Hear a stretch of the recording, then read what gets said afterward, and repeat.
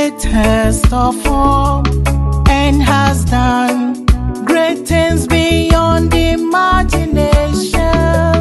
I say, if you always put your trust in Him, He will never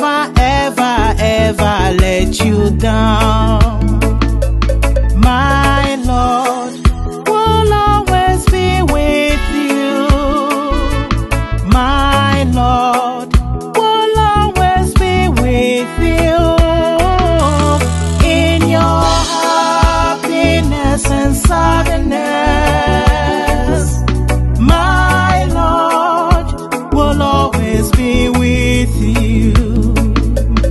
In your happiness and sadness,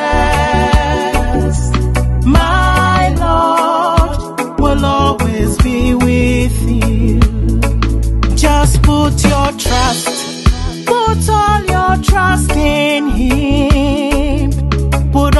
trust. Put all your trust in Him. In your happiness and sadness.